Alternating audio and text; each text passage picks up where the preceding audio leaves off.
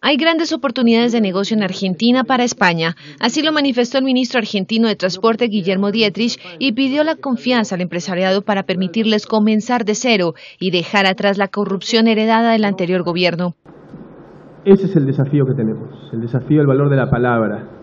Esa palabra que ha sido mal usada, malgastada, distorsionada. Dietrich intervino durante el Foro Empresarial Argentina-España que se celebra en Buenos Aires y señaló que el gobierno recuperará la confianza de los empresarios en un Estado distinto que promulgará licitaciones transparentes después de 12 años de gobierno kirchnerista.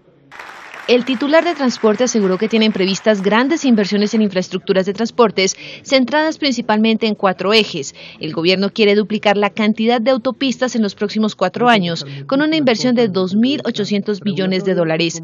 Pero a su vez lo vamos a acompañar con una inversión muy importante en renovación de aeropuertos. Ahí también va a haber muchas oportunidades las empresas constructoras. El ministro instó a los presentes a hablar con sus colegas para comprobar el compromiso que asegura tener el gobierno con los empresarios, como el de la empresa de capital español Dicasa.